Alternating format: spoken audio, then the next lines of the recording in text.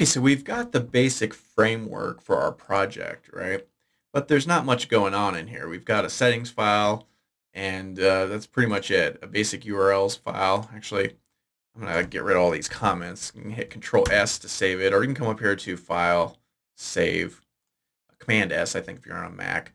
But other than this, there's nothing else really here. This init.py file is empty. There's never anything in it. Uh, we don't ever really use this thing. Here's our manage.py file. We don't do anything with it in the text editor.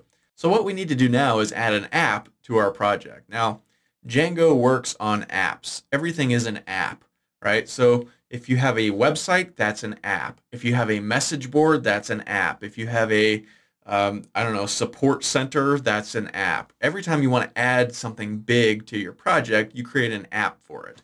So we only really need one app for our project, but we need to create that. So that's what we're going to do in this video. It's very simple. We just head over to our terminal, make sure you're in this Django weather slash weather directory, and we know this is the correct one because if we hit ls, we see this, there's our manage.py file. So clear the screen. So to create an app in Django, we just type in python manage.py start app and then name our app. So uh, let's call this, what do we want to call it? We're going to be looking up weather. So let's just call it weather lookup. It's kind of a big name. Let's just call it lookup. All right. Okay. So now if we come back over here to our Sublime text editor, we see, boom, we have this lookup directory. And inside of here, there's all kinds of other files. Very, very cool. Now, the first thing you do always when you create a new app is to add that app to your setup file. So we come back to our, our main weather directory here and click this settings.py file and scroll down here until you see installed apps, right? So we need to add our new app to this list. So we just, if I could type, just name it. So it's lookup. And now this is going to be the same as whatever you called your app. So we called it lookup, so that's lookup.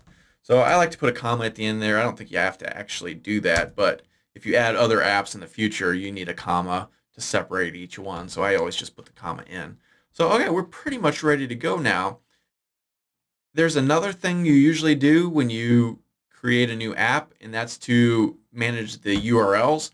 If you're not familiar, a URL is, let's see, let's pull up our thing. This is our URL, right? Localhost. So anytime we create a web page, so like if we create an about page, about.html, this is a URL. And we need to define that in our project. And to do that, we need a urls.py file.